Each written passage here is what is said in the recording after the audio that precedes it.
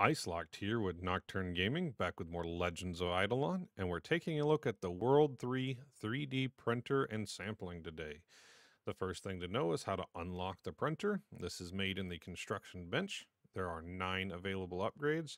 Each upgrade unlocks access to the printer for one additional character. The second thing is there are three quests to complete from Hoggindaz. The first requires you to turn on the refinery here and cycle for about an hour to gain the required number of redox salt. The second quest requires you to place a trap in the Jungle Slimes map in World 1. You do need to complete the quest in Trapper's Folly from the only NPC here, the Lord of the Hunt. And then once you've completed this, the last quest you have to do is to build the red and orange signpost in the construction bench. The signposts look like this, and they're located where the 3D printer here is and this wizard tower.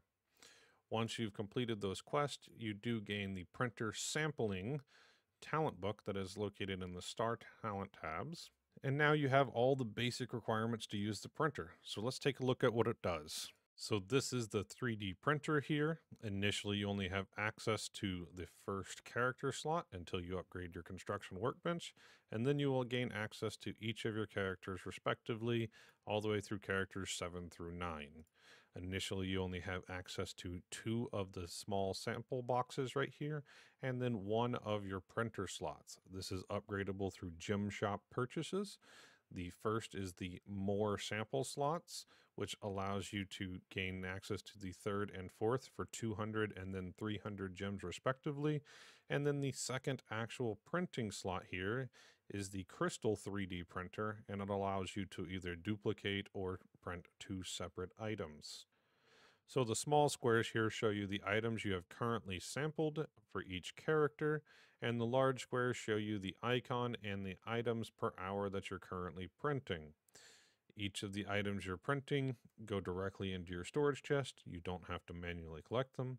So once you have your printer set up, then you can just sit back and collect all the resources for free. A last little note before we move on. If you collected samples of items that you no longer want to print, the trash can icon here allows you to select the item you want and delete it. This completely removes the sample and it frees up the slot to gather another sample for that item.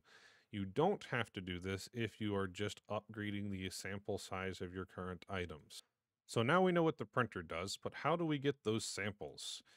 In the star talent tabs of page 2, you do have the printer sampling talent.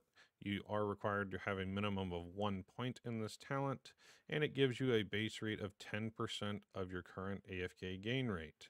If you have enough spare points, you can increase this to 100 points to have a base sample rate of 18%.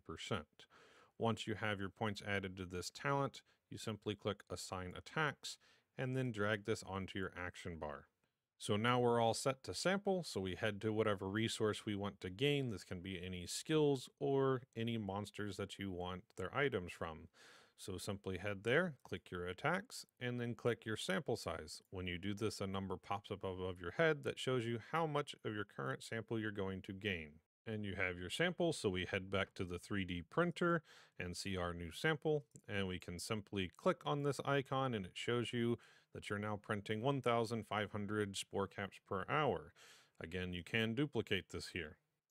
And everything is automated, except how do we increase our sample sizes? To start with, sample sizes are based off of your AFK gain rate, so anything you can do to increase your AFK gain rates will affect your sample size.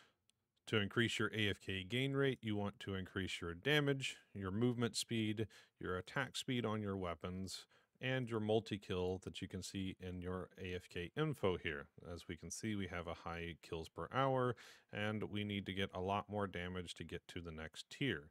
For skills, you want to look at your skill efficiency and your skilling speed. Other than that, there are a few ways to increase your basic sampling size. This includes the star talent printer sampling to increase this from 10 to 18%. In the salt lick, you do have the samples taken for the 3D printer are up to 10% bigger. In the family bonuses tab, you do have the Maestro's bonus to increase your printer sampling size. This is based off of his maximum level. In the post office's upgrades, if you have access to the utility box, it does increase the printer sample size up to 3.33%. In Alchemy, you do have the Sample It yellow bubble. This is currently 4.26% for me. In the alchemy vials, you do have the snow slurry. This is an easy 3 to 5%, depending if you can gain the required snowballs and tier 3 liquid. In the World 3 tasks, you do have the merit shop, which can increase your printer sampling size by 0.5% per point spent in here, so an additional 5% printer sampling size.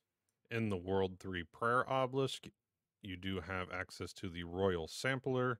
This gives you a base of 15% sample size with a negative of minus 30% to all XP gain. To remove this negative to your XP gain, you do have to unequip all samples on that character, so be careful with using this. You can upgrade this by using the Rooted Souls here.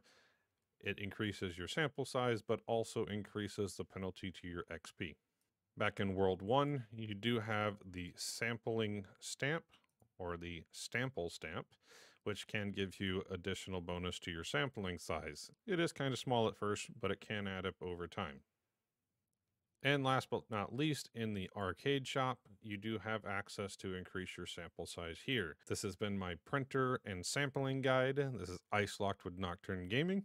If you have any comments, thoughts, or questions, please leave them down below for me, and we'll see you next time.